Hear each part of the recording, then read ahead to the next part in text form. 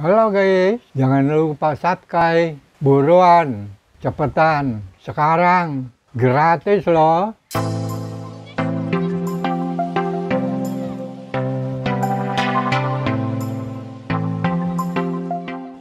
Makan guys.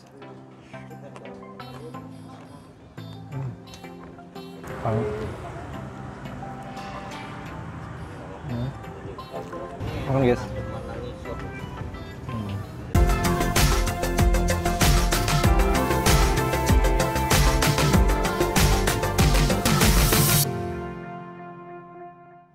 Halo guys, welcome back to my channel. Masih bareng gue, Koko Jordi yang lapar. Halo guys, bagaimana kabar kalian? Pasti selalu dalam keadaan baik ya. Oke guys, jadi kali ini Koko lagi ada di satu tempat yang ini tuh sebenarnya Koko dulu sering banget ke sini waktu zaman zamannya Koko jadi wedding organizer. Jadi Koko punya leader dia rumahnya di daerah sini. Jadi Koko sekarang tepatnya ada di sekolah Sang Timur jadi di sini tuh di daerah apa ya gue lupa namanya. Nanti kok taruh di deskripsi aja ya lengkapnya ya. Jadi di sini sebelahnya juga di sana ada namanya Gereja Maria Bunda Karmel dan itu tuh eh, terkenal banget rame. Jadi di daerah sini tuh biasanya kalau hari Minggu kayak sekarang kan hari Minggu ini biasanya rame nih dan macet banget sumpah gitu. Apalagi kalau waktu sekolah Sang Timur ini masih aktif nggak pandemi itu juga macet banget. Dan di sini tuh banyak banget jajanan-jajanan. Cuman karena pandemi jadi banyak yang nggak jualan lagi. Nah tapi kali ini Koko mau nge-review salah satu kuliner di sini. Ini kulinernya mungkin sebelumnya juga Koko pernah review tapi kita beda orang. Nah, sebelumnya kalian pernah nonton video Koko yang uh, review congpan viral Mr. Botak ya. Videonya ada di atas. Nah sekarang Koko juga akan review salah satu congpan juga ke Medan. Jadi waktu itu Koko sempat di DM sama ownernya, terus kok ayo dong datang review. Nah oke lah kita datang review. Mungkin buat kalian yang belum tahu, silahkan tonton video ini karena Koko bakal cobain dan rasanya gimana. Koko juga nggak tahu apakah enak atau gimana nih. Jadi ada di sebelah sana teman-teman. Itu dan ini udah udah mau habis banget. Jadi dia itu cepet banget lakunya nggak sampai dua jam itu udah udah hampir mau sold out gitu. Tapi ini karena kok mau datang jadi dia sisain dikit gitu ya. Oke, jadi langsung aja kita ke sana, kita ngobrol bentar nanti kita bakal cobain. Jangan lupa untuk terus dukung channel J2 Project 18 menuju 10.000 subscriber dengan cara subscribe, komen, like, dan share ke semua media sosial teman-teman. Kalau gitu kita ke sana dulu. Oke guys, jadi gue sekarang udah ada nih. Ini namanya Cicongfan Akung gitu, kue khas Medan gitu ya. Oke, sekarang kita bersama penjualnya dengan siapa nih bro? Sama saya Rizky kan. Rizky. Iya. Manggil apa nih bro? Mas, bang atau apa nih? Mas aja biar enak. Mas ya, bukan artis Korea ya? Rambutnya kayak siapa coba teman-teman? Nanti kita enggak. rambutnya gitu ya, keren banget ya. Mas eh, Bro Rizky ya? Iya. Bro Iki lah. Bro, ini kemarin kan lu DM gua gitu ya, tanya coba kok review gitu ya. Oke lah, gue tertarik gitu karena emang gue dulu pernah main di daerah sini gitu dan pernah cobain cuma gue nggak tahu dulu itu lu atau bukan gitu. Udah lama banget 2016 Kayaknya gue belum jualan deh. belum ya mungkin yang lain kali ya. Jadi di sini banyak ya yang jualan-jualan ya. Mungkin mungkin nanti kita bakal coba kali ya kuliner lain di daerah sini. Oke gue sekarang mau coba dong pesen satu gitu. Ini ini ada apa aja sih? Sama nggak sih kayak congpan yang kemarin gue pernah review juga? Ya sama aja sih. sama ya? Sama. ada ngunyah terus lumpia, lumpia. lobak gitu. kolbak gitu ya.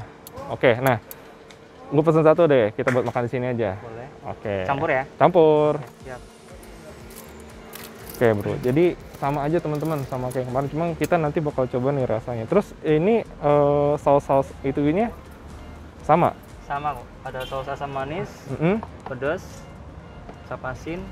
Ya sama lah. Nah untuk untuk harganya eh, di sini berapa? Kalau saya jual di sini tuh tiga sepuluh ribu aja. Tiga sepuluh ribu. Kalau cash ini. Kalau Tapi- di GoFood saya naikin gitu. Oh udah udah ada di GoFood ya? Ada kan. Selain GoFood ada?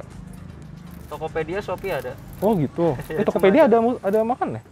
Enggak. Ya ada juga yang PO sih. Oh Tapi di gitu. situ. Oh iya iya iya. Oh jadi frozennya gitu ya? Apa gimana? langsung, Langsung. gosain instan boleh langsung sini. Oh gitu. Rame ya? Ramai. Nah harusnya tuh kita kemarin ya, Bro ya Sabtu ya. Jadi ke waktu Jumat itu Koko udah coba sempet janjian. Jadi sebenarnya udah satu bulan lalu kali ya, Iya. hampir satu bulan lalu eh, nge-DM terus Koko baru bisa kemarin terus eh pas hari hanya udah habis sold out gitu. Jadi nggak nggak usah dibungkus. Dicampur kok sausnya. Iya campur. Oke, jadi eh, apa namanya susah out banget nggak nyampe dua jam ya? Nggak sampai 2 jam habis Gila lu ini kalian bisa tahu pasti nggak nyampe dua jam dia jualan udah langsung Pedes habis. nggak kok? Pedes dong. Oke, jadi kita langsung aja kita cobain ya teman-teman ya. Ini bawang gorengnya banyak banget tuh. Kalian lihat ya. Ini kita bakal coba congfannya. Makan guys. Hmm. Coba maksudnya. Makan guys. Hmm. Dari segi rasa hmm, nggak terlalu jauh beda sama kemarin. Cuman ini dia lebih agak lebih gurih dikit. Terus intinya tadi kau pesen yang agak pedes ya, jadi pedesnya lumayan kerasa. Ini lobaknya, makan guys. Hmm. Ini nguyennya. Makan guys. Cobain lagi. Kemudian sama lobaknya. Makan guys. Hmm. Makan. Hmm. Yang bikin enak sih sausnya teman-teman. Hmm. Makan lagi guys.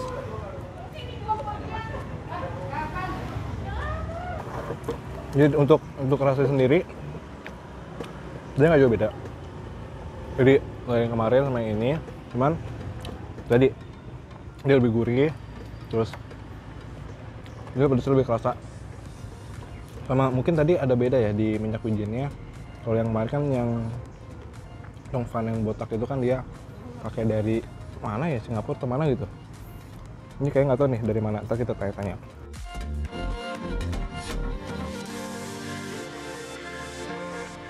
Buat teman-teman kalau yang mau ke sini jangan terlalu siang. Terkehabisan. Makan guys. Oke mungkin aku bakal habisin dulu. Nanti kita bakal ngobrol lagi berapa sih harganya, jam bukanya dan sebagainya. Tetap ikutin terus ya teman-teman. Oke guys, jadi tadi kok udah beres cobain dan kita sekarang mau ngobrol nih sama Bro Rizky. Halo Bro. Ya. Sehat Bro. Iya. Alhamdulillah. Jadi eh, tadi kan gue pesen nih. Dari berapa harga? Sepuluh ribu tiga ya. Kalau misalkan di online kena berapa? Gue kasih seporsi itu 25.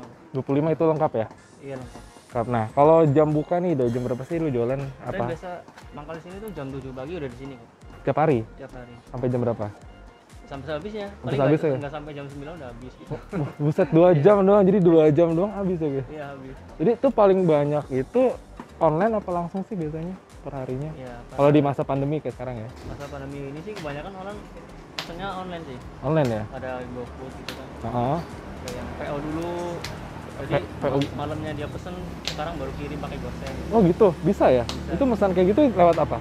Ya orangnya transfer langsung aja manual saya. Oh, iya WA gitu ya? Ya dapat. Ya, Terus ada Instagram juga ya? ada. Instagramnya apa tuh?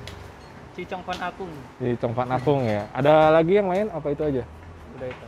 Oke, jadi itu teman-teman. Jadi untuk harganya cukup murah banget dan kalau buat kalian yang apa namanya yang mager gitu ya bisa PO ya. Jadi bisa dikunjungi aja nih Instagramnya di sini. Jangan lupa di follow. Oke, kalau gitu terima kasih buat teman-teman yang sudah tonton video ini, sudah like, sudah komen dan sudah share.